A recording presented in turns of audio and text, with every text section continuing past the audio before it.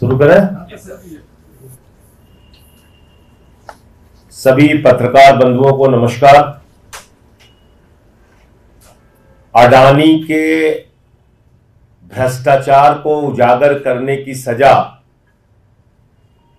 मुझे छह महीने जेल के रूप में मिली।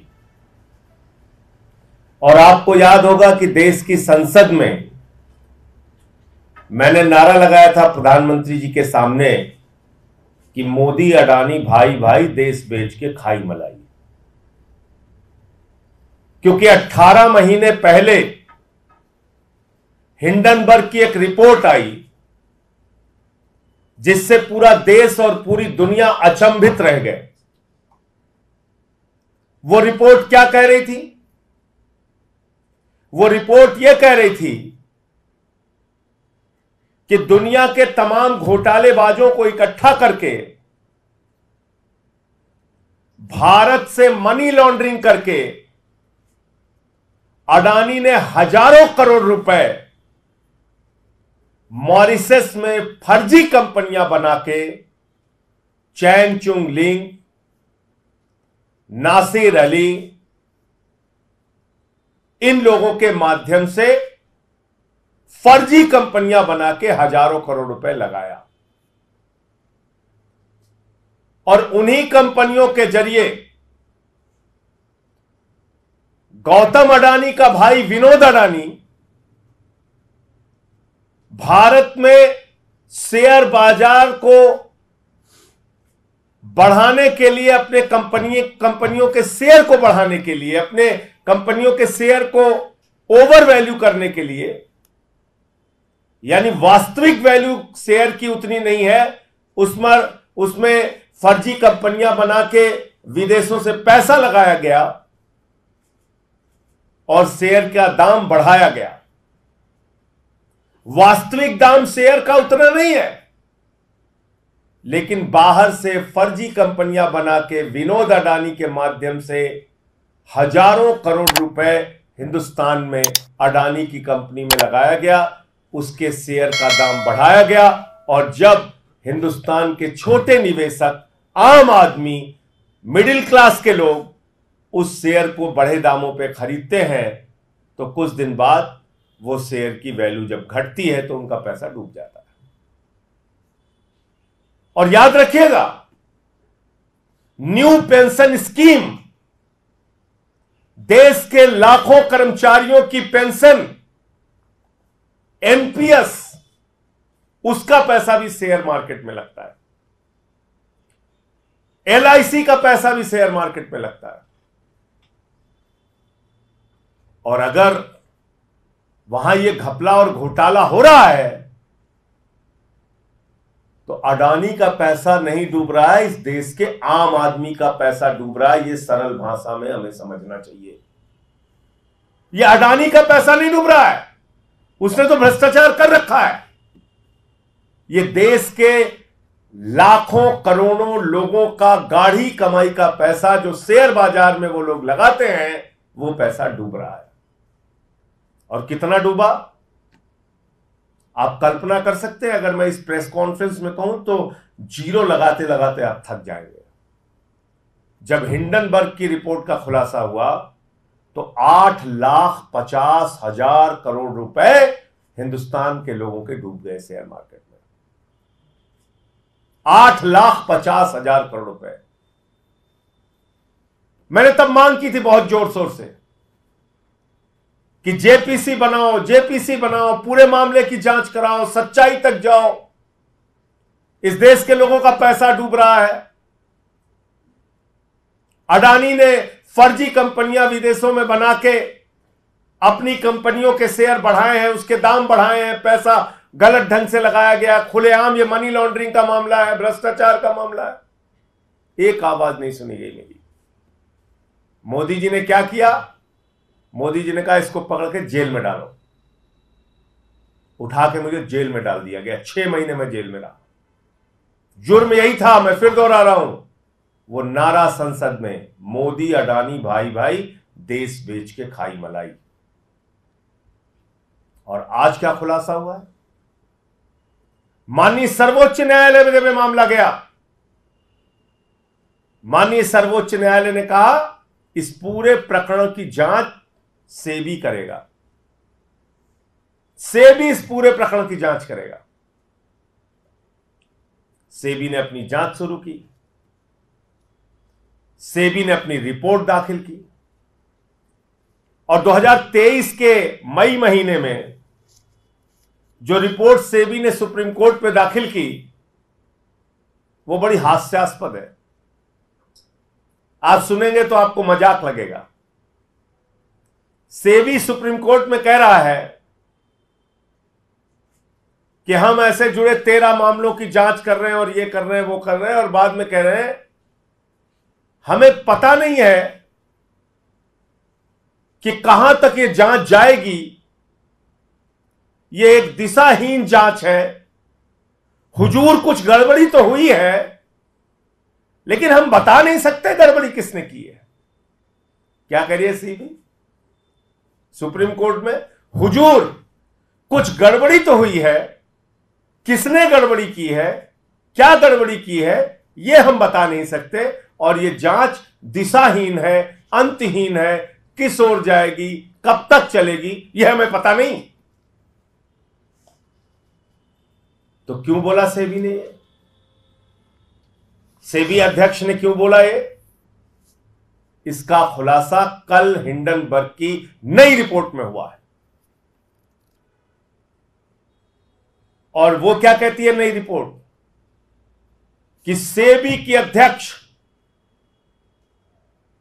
माधवीपुरी बुच और उनके पति धवल बुच ने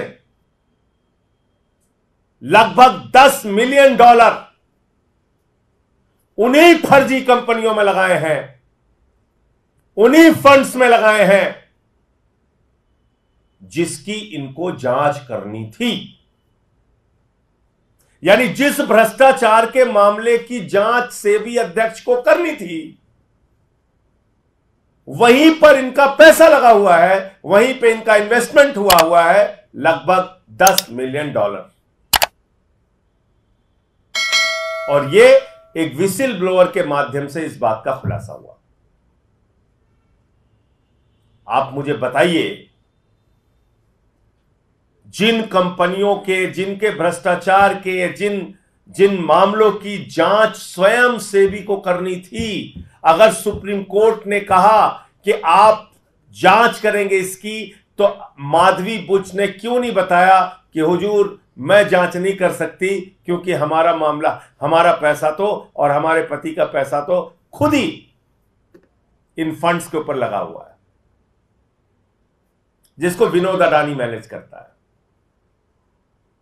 जिसके ज़रिए हिंदुस्तान के आम आदमी को लूटा जाता है। जिसके ज़रिए हिंदुस्तान के आम लोगों का लाखों करोड़ रुपए का उनको चूना लगाया जाता है। फिर मैं फिर दोहरा दूँ, आठ लाख पचास हज़ार करोड़ रुपए शेयर बाज़ार में अट्ठारह महीने पहले इस देश की जनता के डूबे थे, भूलिएगा नहीं। और तब मैंने चिल्ला चिल्ला के कहा था कि यह बहुत बड़ा भ्रष्टाचार है, जेपीसी से इसकी जाँच कराओ। और तब मेरी एक नहीं सुनी गई, बल्कि उल्टा मोदी जी ने उठा के हमको जेल में भेज दिया। तो मैं भारत के प्रधानमंत्री से पूछना चाहता हूँ, आप भ्रष्टाचार पे बड़ी बड़ी बातें करते हैं, भ्रष्टाचार को खत्म करने की गारंटी देते हैं, भ्रष्टाचारियों को जेल में भेजने की गारंटी देते हैं, और आपने एक तेलंगाना की सभा में कहा था, अडानी कांग्रेस को टेंपू में भर भर के रुपया पहुँचा रहा है। आप देश के प्रधानमंत्री होकर इतना बड़ा आरोप लगाते हैं और जैसे ही आपकी शपथ ग्रहण समारोह होती है, भारत के सेना के सर्वोच्च पद पर बैठे हुए लोग पीछे बैठते हैं। अडानी आगे बैठता है।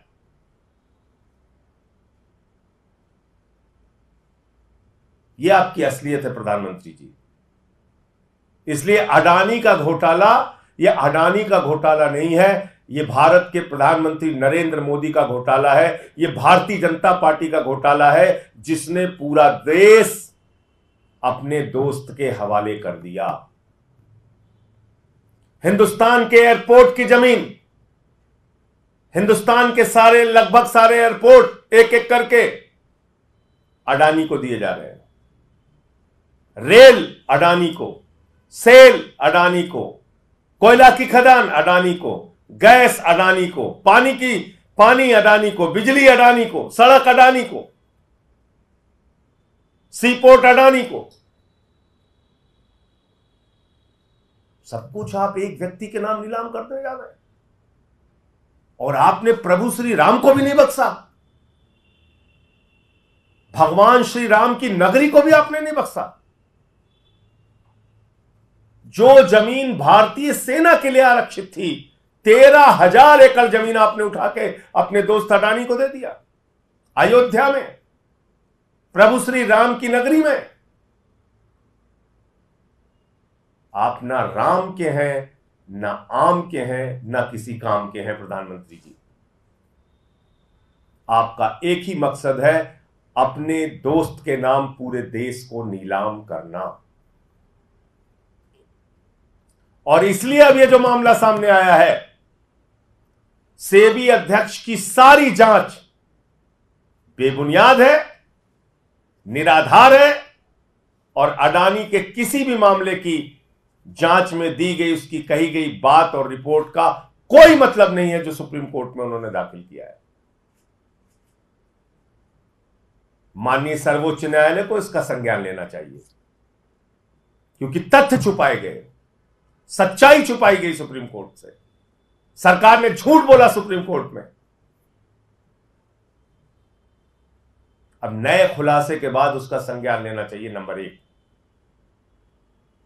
और नंबर दो, ये सारे घोटाले, ये आठ लाख पचास हज़ार करोड़ रुपए हिंदुस्तान के लोगों का जो डूबा है, इसके लिए कोई और नहीं, भारत के प्रधानमंत्री नरेंद्र मोदी जी जिम्मेदार हैं। जब तक वो पद पर रहेंगे, तब तक अडानी के मामलों की जाँच नहीं हो सकती, अडानी के भ्रष्टाचार की जाँच नहीं हो सकती।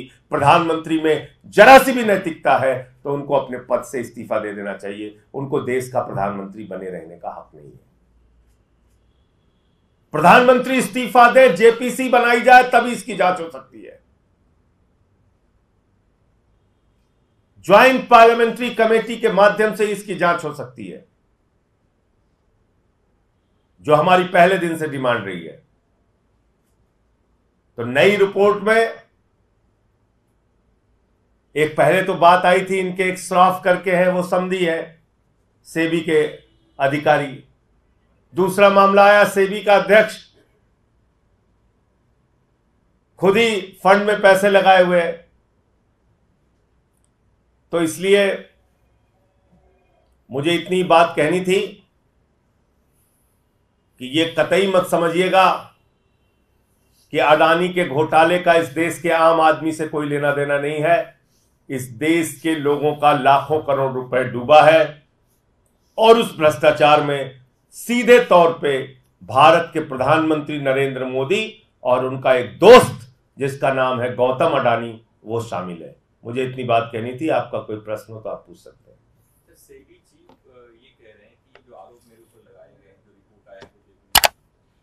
उनके कहने से क्या होता है? जो सामने आया है सच, वो तो गौतम अडानी भी कह रहा था हमने कुछ नहीं किया। देश के लोगों का साढ़े आठ लाख करोड़ रुपए डूब गया। मारिसस में फर्जी सेल कंपनियाँ बनाई गई।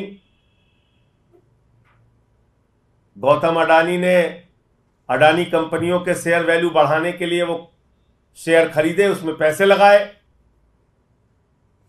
ओवर वैल्यू हो गई तो आम जो छोटे इन्वेस्टर हैं, उन्होंने उसको खरीदा बड़े दामों पे, उनका पैसा डूबा।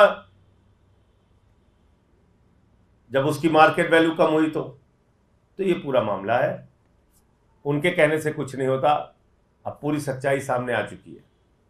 सर, एक और मामला है उपराज्यपाल के कहने पर तीन सरकारी इंजीनियर को निलंबित कर दिया गया है। मुख्यमंत्री के आवास निर्माण से जुड़े हुए थे।